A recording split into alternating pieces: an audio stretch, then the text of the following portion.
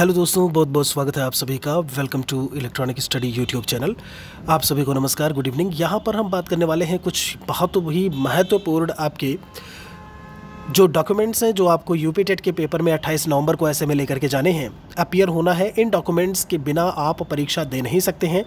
इनको आप पहले से ही रेडी करके रखिए, तैयार करके रखिए, क्योंकि ऐसे में अगर आप फ़र्स्ट टाइम यूपी टेट देने जा रहे हैं, कभी इसके पहले क्लियर नहीं किया है फ़र्स्ट टाइम अगर आप देने जा रहे हैं, और कुछ भी कोई भी डॉक्यूमेंट आपका अगर रह जाता है या ओएमआर में कोई भी अगर आप गलती करते हैं तो ऐसे में पेपर आप दे नहीं पाएँगे, और आप जो है ऐसे में भर्ती से भी वंचित हो सकते हैं।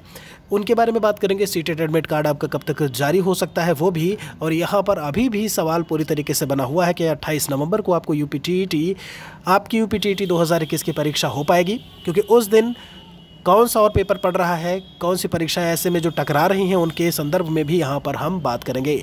अगर आप नए हैं तो चैनल को सब्सक्राइब कर लें। इलेक्ट्रॉनिक स्टडी टेलीग्राम चैनल है हमारा, उससे आप ज़रूर जुड़ें। वहाँ पर रेगुलर अपडेट्स हम देते हैं, सुपर टेट की classes G TET U TET की क्लासेज सब चलती हैं सुबह नौ बजे, एक बजे, शाम को सात बजे, रात में दस बजे।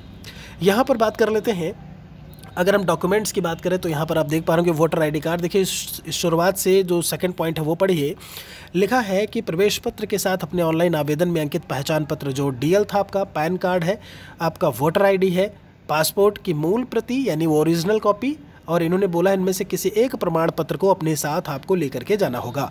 ये भी कहा है कि प्रशिक्षण योग्यता का प्रमाण पत्र या किसी भी सेमेस्टर का अंक पत्र, ध्यान दीजिए, सर्टिफिकेट होना चाहिए या फिर आपका मार्कशीट होना चाहिए किसी भी सेमेस्टर का, वो भी ओरिजिनल, मूल प्रति लिखा है, ध्यान दीजिएगा।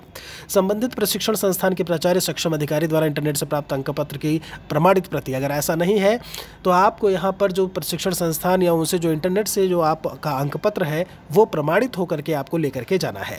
लिखा है, जिनके पास वैध प्रवेश पत्र, पहचान पत्र की मूल प्रति और उल्लिखित प्रमाण पत्र नहीं होगा, उन्हें केंद्र अधीक्षक द्वारा किसी भी स्थिति में परीक्षा में बैठने की अनुमति नहीं दी जाएगी। ये चीज़ आप बहुत अच्छे से याद रखिएगा।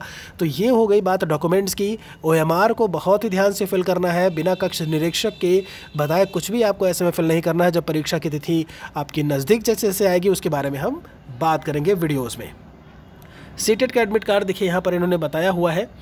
कि पहले सप्ताह में, दिसंबर के पहले सप्ताह में प्रवेश पत्र जारी किया जा सकता है, ये मैं सी टेट की बात कर रहा हूँ, ठीक है? और यहाँ पर यूपी टेट को लेकर के बात की जाए तो दरअसल उत्तर प्रदेश में सब इंस्पेक्टर यानी एसआई भर्ती की परीक्षा 12 नवंबर से 2 दिसंबर के बीच में तीन फ़ेज़ में आयोजित की जानी है। और उसी में 28 नवंबर को ये तिथि पड़ रही है, लेकिन बहुत कम संभावना है कि आपकी यूपी टेट की परीक्षा जो है वो टले, पूरी तरीके से तैयारी करिए। यहाँ पर परीक्षा आपकी किसी भी स्थिति में पोस्टपोन अब नहीं की जाएगी ऑलरेडी काफ़ी डिले हो चुका है जो आपकी टी की परीक्षा है उसको लेकर के।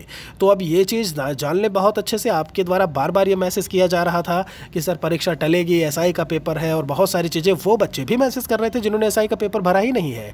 तो भाई इतने दिन बाद यू टेट आया है तो अच्छे से पेपर दे लीजिए, ठीक है? जिससे कि आगामी भर्ती में आप जो है वह शामिल हो सकें।